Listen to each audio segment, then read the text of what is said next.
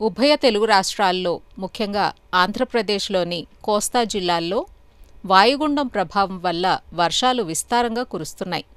ఉత్తర కోస్తా ఉమ్మడి కృష్ణా గోదావరి గుంటూరు జిల్లాల్లో మూడు నాలుగు రోజుల నుంచి ఎడతెరిపి లేకుండా కురుస్తున్నాయి. జులై మాసం మొత్తంలో కురవాల్సిన వర్షపాతంలో డెబ్బై మూడు శాతం ఈ వారం రోజుల్లోనే కురిసింది. ఉమ్మడి గుంటూరు జిల్లా రైతులకు ఈ వర్షాలు కొంత మిశ్రమ ఫలితాలను ఇస్తున్నాయి. వారం పది రోజుల క్రింద నేరుగా విత్తిన వరి ఈ వర్షాలకు బాగా దెబ్బతింది. వరి మిరప నారుమళ్ళలో నీరు అధికంగా నిల్వ ఉండటంతో మొక్కలు చనిపోతున్నాయి. వర్షాలు తెరిపినిచ్చాక వెదవరి వరి నారుమళ్ళు ప్రత్తి మిరప పొలాల్లో పాటించాల్సిన చర్యల గురించి సూచనలిస్తున్నారు గుంటూరు ఏరువాక కేంద్రం కోఆర్డినేటర్ డాక్టర్ ఎం నగేష్. మన గుంటూరు జిల్లాలో ఇటీవల నాలుగైదు రోజుల నుంచి వర్షాలు బాగా కురుస్తూ ఉన్నాయి. ఎక్కువగా రైతు సోదరులు వెదవరిలో పద్ధతిలో వేశారు వరిని. మామూలుగా వెదబెట్టిన తొమ్మిది రోజులకి అలా మొలక వస్తుంది. ఇప్పుడు ఏంటంటే మళ్ళీ ఎక్కువ రోజులు రెండు మూడు రోజుల కంటే నిల్వ నిలవ ఉందనుకోండి నీళ్ళు. అది నీళ్ళు గబగబ తీసేసినట్లయితే ఇంకొక మూడు రోజులకి మొలక వచ్చే అవకాశం తప్పనిసరిగా ఉంటుంది. అందువల్ల భయపడాల్సిన అవసరం లేదు. అదే కొన్ని మొలక వచ్చి కొన్ని మొలక రాలేదనుకోండి వాటిట్లో అయితే కొంచెం ట్రబుల్గా ఉంటుంది.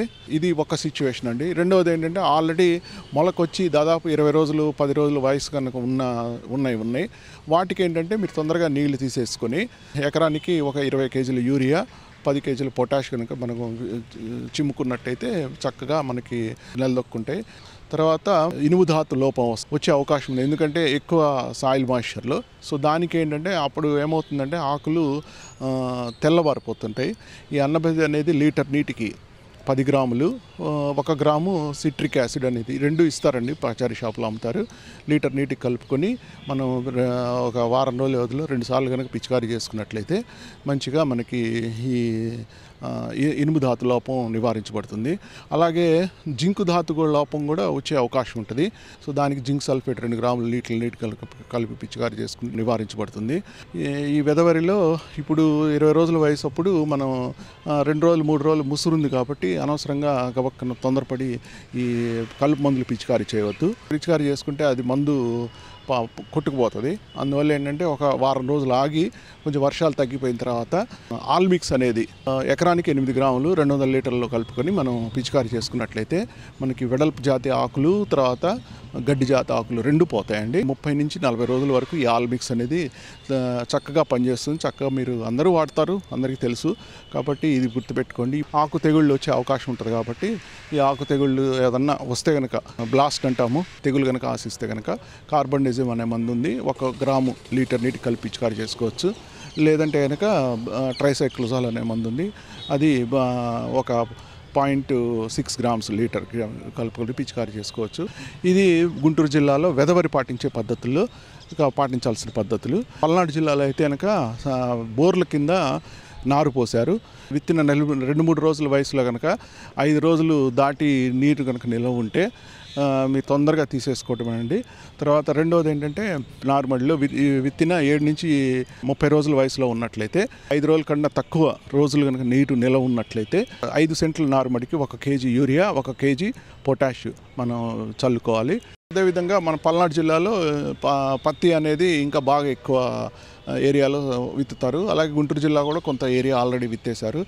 ఈ మూడు రోజులు నాలుగు రోజులు కురిసిన వర్షాలకి నీళ్ళు నిలవ ఉంటే నీరు నిల్వ తీసేసేసుకొని మల్టీ క్యాన్ మార్కెట్లో దొరుకుతుంది. దాన్నే పొటాషియం నైట్రేట్ అంటారు. దాన్ని తెలుగులో సూర్యకారం అంటారు. దాన్ని లీటర్కి పది గ్రాములు. చొప్పున మన వారం రోజుల వ్యవధిలో రెండుసార్లు పిచికారీ చేసుకోండి. కొంచెం ఆరిన తర్వాత నెల రోజుల పైరుకి యాభై కేజీల యూరియా పదిహేను కేజీల లేకపోతే ఇరవై ఐదు కేజీల పొటాషు వేసుకోవాలి. అది భాస్వరం ఆఖరి దుక్కులో వేసుకోకపోతే డిఏపి ఒక కట్ట. వేసుకోవాలి. ఆకు మచ్చ తెగుళ్ళు ఆశించే అవకాశం ఉంటుంది. ఈ ముసురుకి దానికి ఏంటంటే మనం కార్బన్ డైజిమ్ ఒక గ్రాము లీటర్ నీటికి కలుపుకొని పిచికారీ చేసుకున్నట్టే. అదే ఆకు మచ్చలు కనిపిస్తేనే అది పిచికారీ చేసుకోవాలి కార్బన్ డైజిమ్ లేకపోతే అవసరం లేదు.